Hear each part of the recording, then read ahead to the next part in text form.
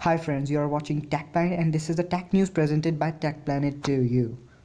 So the first news is about the Disney that Disney uh, movies and episodes were not available in Hotstar now uh, because uh, now it will be only available in Netflix. So this is uh, bad news for Hotstar Hotstar users and those who use net Netflix. Uh, they don't have any problem. Now coming to second, it is expected that Nokia 9 will be launched soon in 2018 with Snapdragon 845 for Nokia lovers. Uh, soon you will be getting a good phone so now coming to next that am i would going to be enter in the us market. So this is a really great news because uh, uh, mi is not available in us so now it will be available in us also. So these are you great news for us uh, peoples. Now coming to another news.